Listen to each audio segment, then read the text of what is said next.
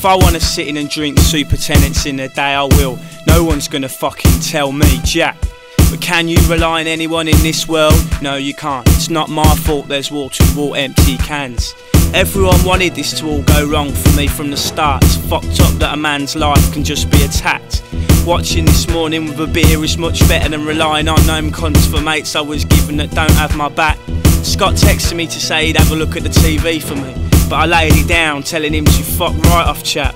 Phoned this company out the yellow pages, told them to take away the TV fix it quick snap. The next day they took away the TV, told me they would repair the little bit that's broken round on the back. I thought that'd be that, but the next bit was on top. This was where it all started to get a bit out of hand. No one gives a crap about Mike, that's why I'm acting nasty. You know what you can do with your life, introduce it up your jacksie. Cause no one gives a crap about Mike, that's why I'm acting nasty. You know what you can do with your life, introduce it up your jacksie. The TV man comes back later, knocks on mine to say he's found something in the back of the TV. I'm looking at me absolutely speechless, can't quite believe he's trying to pull this fucking stunt on me. I knew it was a simple case of a power supply gone on the back, but he's trying to tap me up for more money. He says it's not like that, and I'm like, fuck off and die and stick up my two fingers and one more to make three. He says, don't talk to me like that, and I don't understand. My face is in his face, I tell him I understand perfectly. And he grabs my shirt and I grab his face with my hand, so he brings his fist up and tracks me a good one on my cheek. And I'm trying to pull his head down so I can knee it, but he's got my ear. He's twisting it round so much it's really hurting me. And we both go down on the floor and he pushes my head back onto the corner of the fridge, which is total agony. Then he gets up and runs out of the kitchen and out of the door, shouting stuff to me, slamming his door, shouting to me. So here I am in my house, drinking on my own settee. Everyone's a cunt in this life, no one's there for me. No one gives a crap about Mike, that's why I'm acting nasty. You know what you can do with your life, introduce it up your jacksie. Cause no one gives a crap about Mike, that's why I'm acting nasty. You know what you can do with your life, introduce it up your jacksie.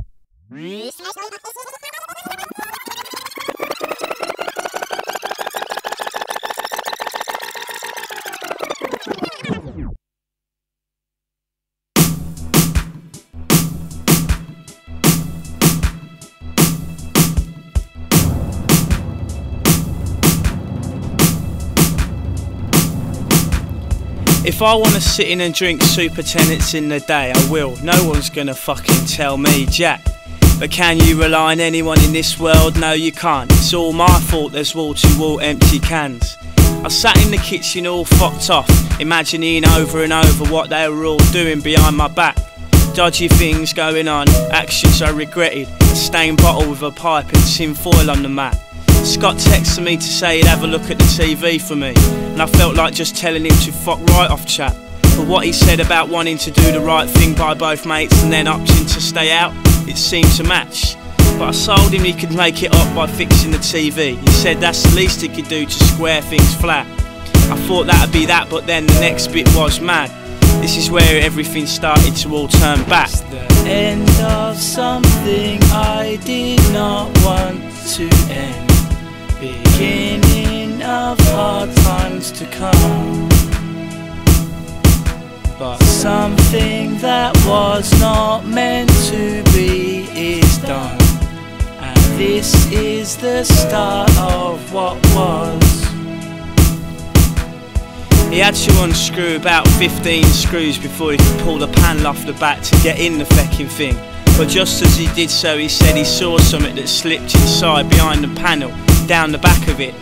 Must have been some leaflets or a bill maybe. I didn't want to lose the bill in case it was a final warning. So we both tried to get the back off and work out if there are any more screws to get out or if we left any in. And when he looked down the back of the TV, his eyes just froze before he rammed his hand in, saying, No shit. He's looking at me absolutely speechless. He can't quite believe what he's trying to pull out the slip. I get up wondering what he's smiling about. He's shaking his head at this point with biggest of grins. I looked down the back of the TV and that's where it was, in all its glory. My thousand quid. End of something I did not want to end. Beginning of hard times to come. But something that was not meant to be is done. And this is the start of what was. About two this afternoon, the last of the people left my house because they never stopped chatting till all the racket's gone. I really feel like things clicked into place at some point, or maybe it's the fact that me and Alison really got on. Or maybe it's that I realise that it is true. No one's really there fighting for you in the last garrison. No one except yourself, that is. No one except you. You are the one who's got your back to the last deed's done. Scott can't have my back to the absolute end. He's got to look out for what over his horizon. He's got to make sure he's not lonely, not broke. It's enough to worry about keeping his own head above. I shut the door behind me, huddled up in my coat, condensation floating off my beth, squinted out the sun. My jeans felt a bit tight, I think I washed them too high.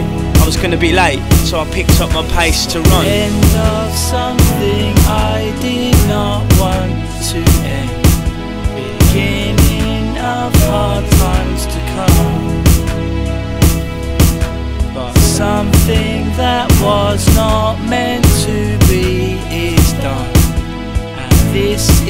The start of what was. It's the end of something I did not want to end. Beginning of hard times to come. But something that was not meant to be is done. And this is the start of what was. Something I did not want to end. Beginning of hard times to come. But something that was not meant to be is done. And this is the start of what was. It's the end of something I did not want to end. Beginning of hard times to come.